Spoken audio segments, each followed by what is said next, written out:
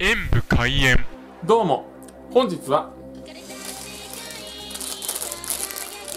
ちらローソンのザクッと食感のクロッカンエクレが名前からすると食感も楽しむタイプのやつかな。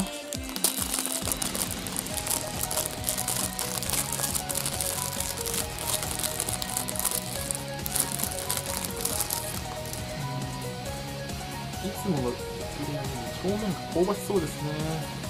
ではいただきます。